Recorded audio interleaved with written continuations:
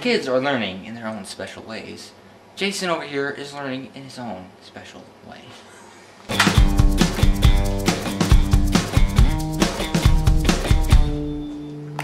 Right there is a perfect example of him lighting a candle.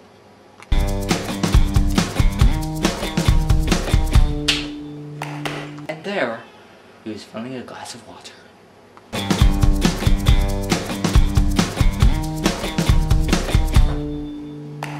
And, wait a minute, is he spreading poo all over my floor?